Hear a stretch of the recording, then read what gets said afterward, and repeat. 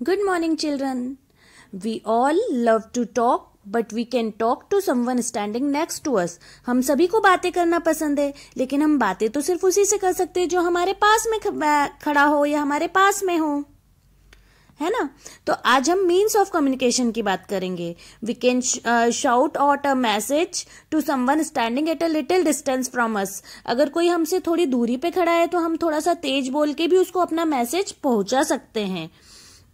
ऐसा होता है ना तभी कभी कोई व्यक्ति हमसे दूर रहता है तो हम उसको थोड़ा सा तेज थोड़ा सा लाउड आवाज़ लगा के अपनी बात उस तक रख सकते हैं ना। तो ये भी एक तरीका है कि हाँ कम्युनिकेशन का। पहले के ज़माने में क्या होता था कि कम्युनिकेशन के लिए पीजन्स का यूज़ किया जाता था। पीजन्स जो होते थे आ, वो उनके फीदर में मैसेजेस बाँध दिए जाते थे कागज़ के पे लिख के और वो वहाँ से लेके चले जाते थे। In olden days pigeon were use as message carriers तो पीजन जिसको मैसेज पहुंचाना होता था, उसको जाके पहुँचा देते थे। पहले के जमाने में दूसरी चीज़ें तो हुआ नहीं करती थी, और इतने व्हीकल्स भी नहीं रहते थे कि एक जगह से दूसरी जगह हम जा सकें। तो ये मैसेज का जो काम था, वो पीजन किया करते थे ओके या फिर कोई मैसेंजर हॉर्स पे भेजा जाता था कि जो एक जगह से दूसरी जगह मैसेज डिलीवर्स कर सके। अगर कोई इमरजेंसी होती तो फिर आ, एक एक जगह से दूसरी जगह किसी मैसेंजर को भेजा जाता था। तो वो जाके मैसेंजर मैसेंजर जा वहाँ पहुँच के अपना मैसेज आपका मैसेज डिलीवर करके आता था। How do we talk to someone who is another city और कंट्री अगर कोई दूसरी सिटी में या कंट्री में है तो हम उससे कैसे बात करेंगे? उसका क्या तरीका है? सोचो जरा कैसे बात करेंगे अगर कोई दूसरी सिटी में है तो।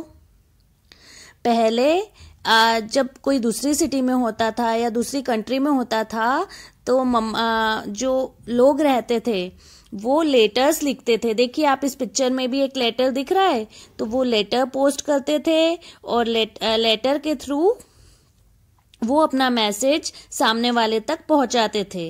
We can buy inland letter और aerogrammes letter we send outside the country वो लोग ये जो लेटर्स रहते थे, वो परचेस करते पोस्ट ऑफ़िस से और उसको लिख के पोस्ट बॉक्स में डाल देते थे। फिर पोस्ट ऑफ़िस जो पोस्टमैन अंकल होते थे, वो ये सारे लेटर्स पोस्ट ऑफ़िस से ले लेते थे और आपने जो एड्रेस उस पर लिखा होता था और स्टाम्प लगा के उस पर रखा होता था तो वो वहाँ पे उसको भेज देते थे। उस पर पिन कोड लिखना भी ज़रूरी होता था। अभी तो बिल्कुल लेटर्स का चलन खत्म हो चुका है। तो आप लोगों ने कभी आ, लेटर्स लिखते हुए देखा भी नहीं होगा या बहुत कम देखा होगा। दूसरा जो तरीका था वो था टेलीग्राम अगर हमको कभी किसी को अर्जेंट मैसेज देना होता था तो वो टेलीग्राम के थ्रू दिया जा सकता दिया, दिया जाता था। Telegrams can be send from the post office they are urgent messages अचानक कोई ऐसी इमिज सिचुएशन आ जाती थी, तब टेलीग्राम्स किए जाते थे, जो कि बहुत जल्दी पहुँच जाया करते थे।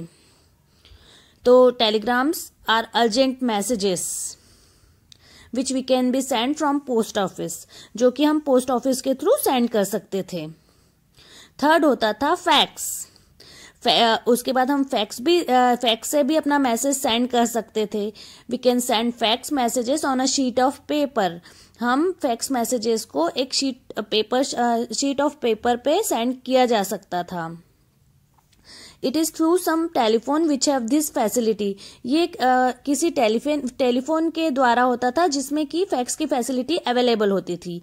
Telephone carries a message very fast telephone से आजकल के जमाने में टेलीफोन आ गए तो telephone carries a message very fast we dial a number and get to speak to the person who picks up अब मोबाइल फ़ोन भी आ गए हैं तो मोबाइल फ़ोन से हमने डायल किया और हम इजीली उस बंदे से या उस व्यक्ति से कांटेक्ट कर सकते हैं जिससे जिसको कि हमने कॉल किया है और उससे बात कर सकते हैं उसको अपना मैसेज दे सकते हैं।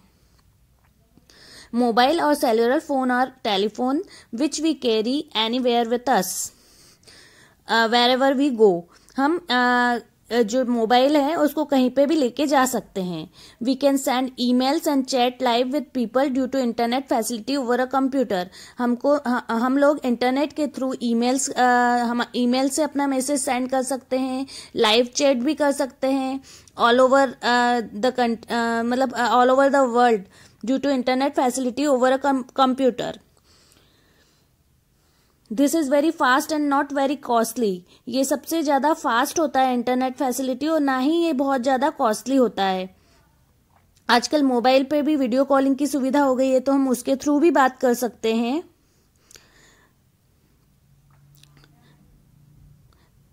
और जो इंटरनेट है वो सबसे फास्ट वे है और ज़्यादा कॉस्टली भी नहीं है तो उससे भी हम कांटेक्ट कर सकते हैं। Other means of communication are newspapers newspaper के थ्रू हमको बहुत सारी खबरें जानने को मिलती है।